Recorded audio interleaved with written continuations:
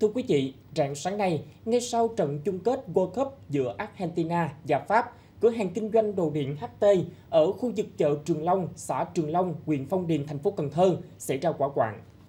Tại hiện trường, căn nhà bị thiêu rụi có hai em nhỏ lớp 3 và lớp 6 ngạt khói và tử vong thương tâm. Cửa hàng kinh doanh đồ điện HT nằm trong chợ Trường Long. Thời điểm xảy ra quả quạng, gian nhà kho nằm kế bên của chủ tiệm cũng bị thiêu rụi. Căn tiệm cạnh đó cũng bị cháy xém. Ngay sau khi sự việc xảy ra, cơ quan chức năng quy động lực lượng có mặt tại hiện trường, triển khai công tác cứu hộ. Vụ cháy được khống chế ngay sau đó, nhưng đám cháy thiêu rụi làm hư hỏng nhiều tài sản bên trong căn nhà. Thưa quý khán giả, tin từ Trung tâm Dự báo Khí tượng Thủy văn Quốc gia, hôm nay 19 tháng 12, không khí lạnh cường độ mạnh tràn khắp các tỉnh thành từ miền Bắc vào đến Trung và Nam Bộ. Do ảnh hưởng của không khí lạnh, vùng núi phía Bắc nhiều nơi nhiệt độ xuống dưới 0 độ. Tại thị xã Sapa của tỉnh Lào Cai, không khí lạnh tiếp tục ảnh hưởng khiến nhiệt độ giảm sâu. Sau băng giá tại đỉnh Phan Xi Phan, xuất hiện sương muối với cường độ mạnh phủ trắng núi rừng. Rất đông du khách vượt lạnh giá âm độ đổ về đỉnh Phan Xi Phan Sapa Lào Cai để tận mắt chứng kiến băng giá phủ trắng xóa, tạo nên khung cảnh thiên nhiên ấn tượng. Là ngọn núi cao nhất Đông Dương, nằm tại độ cao hơn 3.000 mét, đỉnh Phan Xi Băng thường bắt đầu trở lạnh sâu từ tháng 11 đến tháng 2 năm sau. Xuất hiện nhiều đợt rét kéo dài, nhiệt độ thậm chí xuống dưới 0 độ C và xuất hiện băng giá. Đây được xem là một trong những trải nghiệm đặc biệt và thu hút du khách nhất khi đến với mùa đông ở Sapa.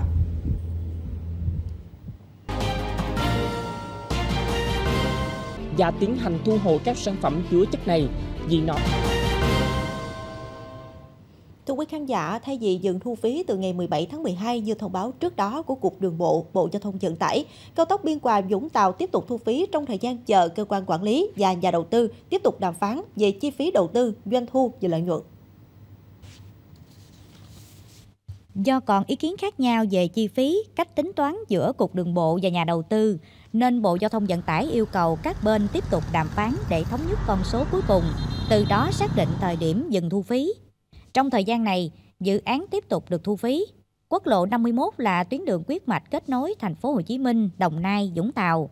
Dự án BOT mở rộng có chiều dài hơn 70 cây số, tổng mức đầu tư được duyệt gần 4.000 tỷ đồng. Dự án đưa vào khai thác từ tháng 4 năm tới.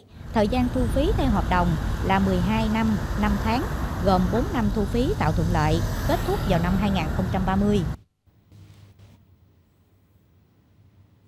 Năm nay, Việt Nam dự kiến xuất khẩu hơn 7 triệu tấn gạo, trị giá 3 tỷ 500 triệu đô la Mỹ. Điểm đột phá là giá gạo xuất khẩu của Việt Nam đang cao nhất thế giới và lượng gạo xuất sang các thị trường khó tính tăng mạnh. Hiệp hội Lương thực Việt Nam cho biết xuất khẩu gạo Việt Nam đang giữ giữ vững vị thế hàng đầu thế giới do các doanh nghiệp nâng cao chất lượng sản phẩm, chiếm lĩnh được nhiều thị trường lớn. Những xung đột thế giới, thời tiết, dịch bệnh cũng khiến cho nhu cầu gạo của nhiều quốc gia tăng mạnh.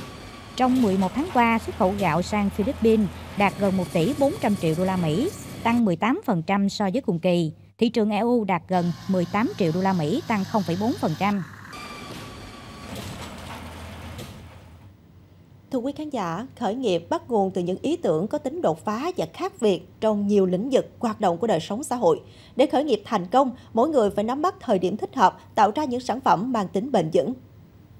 Từ thực tiễn này, nhiều bạn trẻ có ý tưởng khởi nghiệp từ sản phẩm đặc trưng của địa phương, được người tiêu dùng ưa chuộng. Một phần đầu tiên là quê mình là quê nông nghiệp. Mình từ nhỏ mình lớn lên ở quê hương nông nghiệp.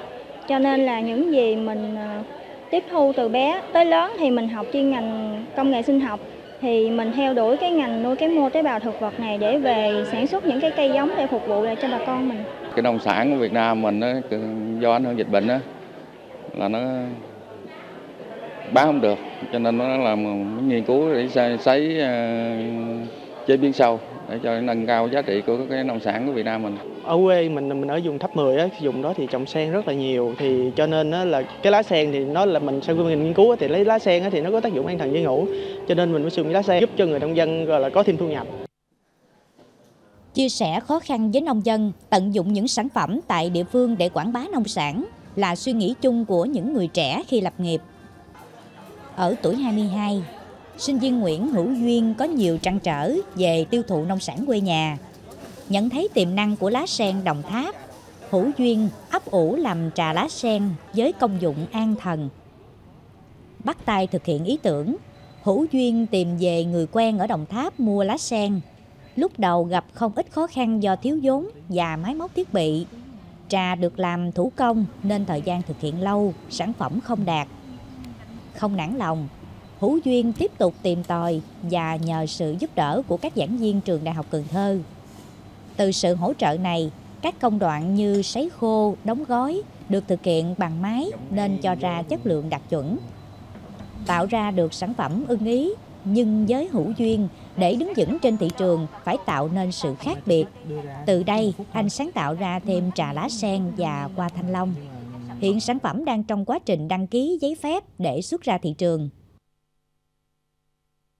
Đầu tiên thì à, nhóm sẽ thực hiện thương mại hóa sản phẩm một cách à, chính thức với sự hỗ trợ của à, địa phương kết nối thì thêm với một số dùng nguyên liệu đặng giúp với lại hướng dẫn ta gọi là cung cấp kỹ thuật cho người nông dân để cho họ làm ra được cái sản phẩm mà phù hợp với tiêu chuẩn của mình, đồng thời cũng nâng cao luôn cái giá trị nông sản của người nông dân à.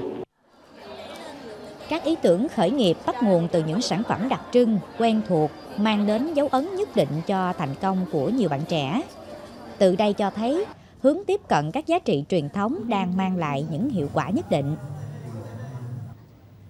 Gần 1.900 điểm dừng chờ xe buýt trên địa bàn thành phố Hồ Chí Minh đang được tháo dỡ sửa chữa.